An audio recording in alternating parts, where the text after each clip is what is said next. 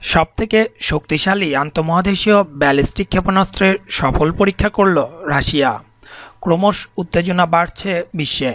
আন্তঃমহাদেশীয় ballistic ক্ষেপণাস্ত্র R S twelve M তোপলভের সফল পরীক্ষা করল রাশিয়া।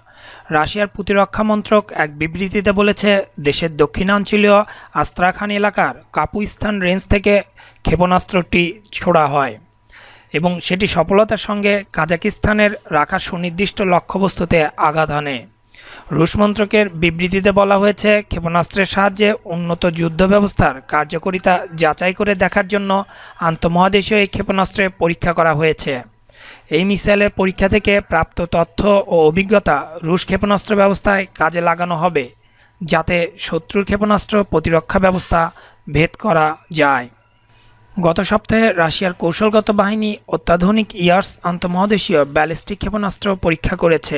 ইয়ার্স হচ্ছে তোপলব এম ক্ষেপণাস্ত্র সিরিজের সর্বশেষ সংস্করণ এবং কঠিন জ্বালানি চালিত এই ক্ষেপণাস্ত্র একসঙ্গে কয়েকটি ওয়ারহেড বহন করতে সক্ষম।